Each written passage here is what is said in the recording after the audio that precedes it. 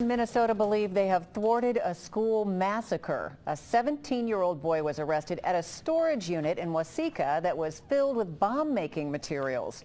Waseca is just south of Minneapolis. They say John David Ladue had an elaborate plan to murder as many of his classmates at his high school as possible and the firepower to carry it out. School officials are shocked. The staff works exceptionally hard to build strong relationships. We recognize this individual. It's not like he was not unknown to us. He was known.